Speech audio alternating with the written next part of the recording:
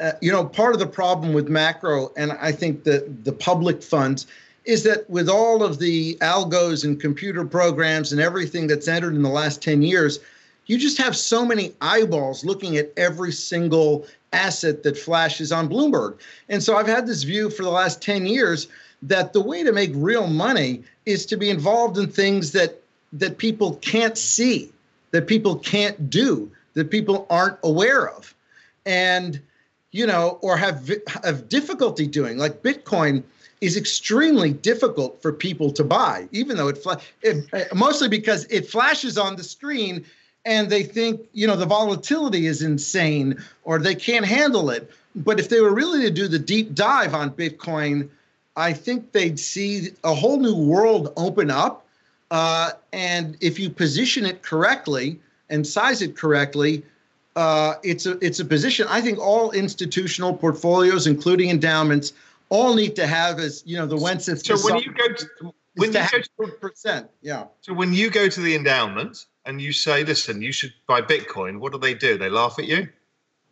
Yeah, um, yeah, but but no. Um, I, I think you know we have some forward-thinking people, and I I think they're open to it because you know the the Wences I was saying the Wences Casares uh, view, which is you know get off zero, that all uh, institutions should have at least one percent, um, is a very powerful argument. And you know, I I think if you look at a, a basket of, and I think Dan Morehead's done this work of digital assets, uh, uh, a basket in, uh, of uh, of um, of companies over the last five years. Actually, this is a basket of, of cryptocurrencies that he put together uh, if you had had that basket or even just Bitcoin, let's say over the last five years, okay, if you'd long Bitcoin, um, if you'd had 5% of your portfolio in Bitcoin in a 60 40 portfolio, okay, your performance would have doubled.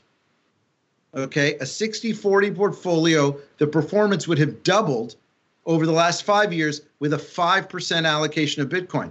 So if you add just 2 or 3% or 1 or 2%, you're looking at adding 20, 30 per, uh, percentage points to performance. And for an institution, that's massive. So I think the the there's never been as much. Uh, I've never seen as asymmetric a bet as exists with Bitcoin, and the risk reward for institutions um, to even dip a toe into the sector, whether it's owning Bitcoin or whether it's owning a basket of the companies that are growing up in the digital asset ecosystem. Um, some of those companies were worth zero four or five years ago. I mean, you take a look at Binance, uh, it was worth five years ago, did not exist. And today it's probably a 10, 15 billion dollar company. So you're having tremendous wealth creation going on underneath. Um, but you know, I speak to uh, different institutional investors, and and some of them, I mean, they've never heard of any of these companies. To, to, to imagine you're talking to a guy running billions of dollars who's never heard of Coinbase.